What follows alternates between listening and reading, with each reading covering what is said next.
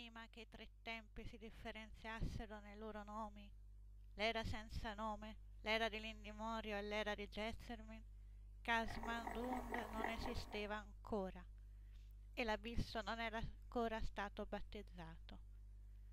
Vi era solo Bertku, nel quale Malcherubel ardeva come un fuoco prima perenne, che fossero come noi li conosciamo, che Malcherubel pianta il respiro dell'antagliore, mentre dava forma al mistero del mare sotto di lui, e un immane ammasso di calore che si contorceva nella sua illimitatezza.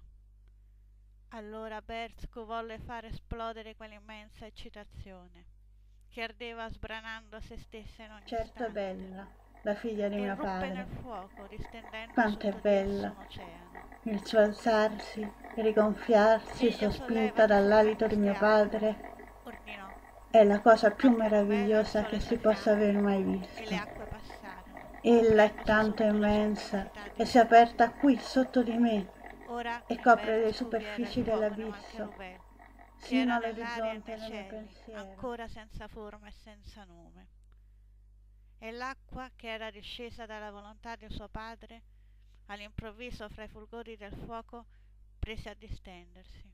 Quel mare era l'Antiliur, La sua voragine mi attrae, io impazzisco nel far cadere il mio sguardo in mezzo alle sue acque misteriose. acque. nel- Non nel posso resisterle, è tanto bella e mi seduce in modo continuo con il suo turbinare e il suo per ondeggiare. contemplare la superficie turbolenta delle sue onde. E poi si ritirava, laddove Bersku l'aveva messo.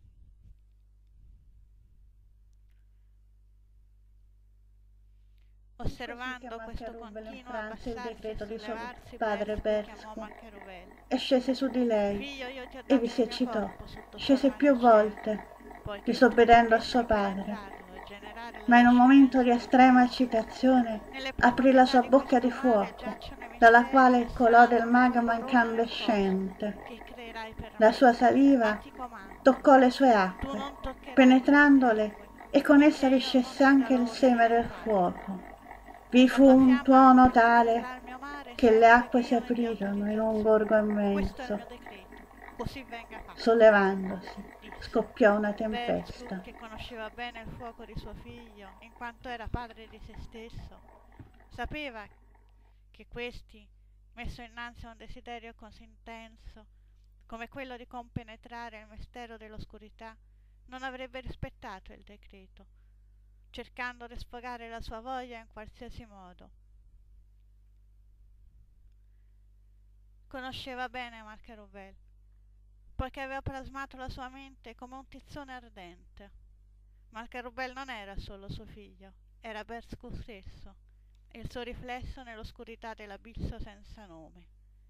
Dunque, ne conosceva ogni pensiero, già prima che questo potesse essere da suo figlio immaginato.